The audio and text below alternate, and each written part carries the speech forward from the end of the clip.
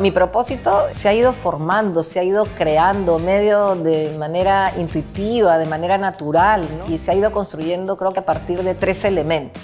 Un primer elemento son mis capacidades, aquellas cosas que me salen, que, que, puedo hacer, donde están mis elementos diferenciadores. Y a eso también se suma un segundo elemento que es lo que me da satisfacción, lo que me hace feliz, lo que me hace sentirme realizada. ¿no? Y a esos dos se agrega, creo, un tercero, que es el, eje o el elemento de lo que impacta a los demás, que gracias a mis acciones otros se sintieron mejor, otros están mejor, ¿no? Y este propósito, pues, este, me moviliza todo el tiempo, ¿no?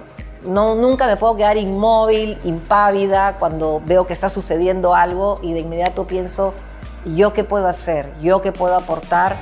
Y eso al final qué va a generar para otros. No quedarte en una zona de confort, sino dar esa milla extra, atreverte, exponerte, exigirte, ¿no? Para, para que las cosas salgan mejor, no solo para uno, no solo para tu familia, sino para todos los que te rodean. Y la universidad nos inspiró el ser responsable. Ese sentido de responsabilidad te mueve a la acción, ¿no?